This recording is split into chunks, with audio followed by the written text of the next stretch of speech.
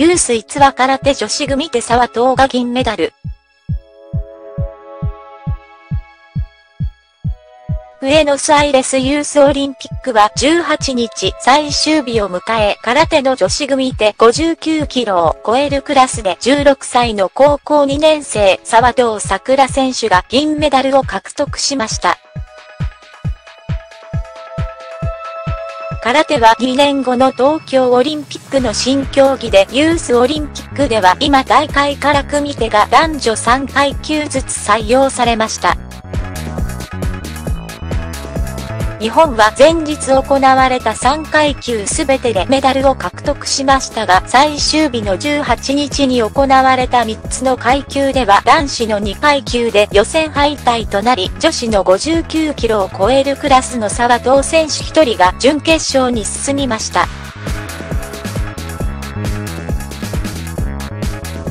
沢藤選手は他の選手の分まで頑張ろうとイギリスの選手に対して持ち味の攻撃力を活かした鋭い突きでポイントを重ね9対1の大差で勝利し決勝に進みました。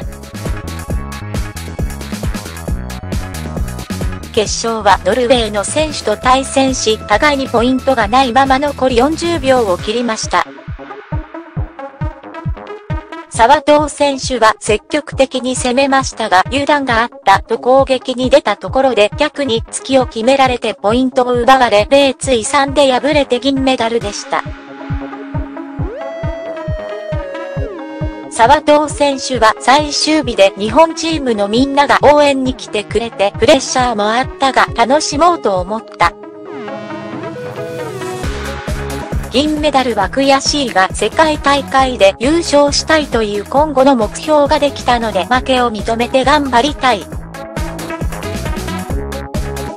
ユースオリンピックは楽しかったし、16歳でこんな経験をさせてもらえてとても嬉しかったと話していました。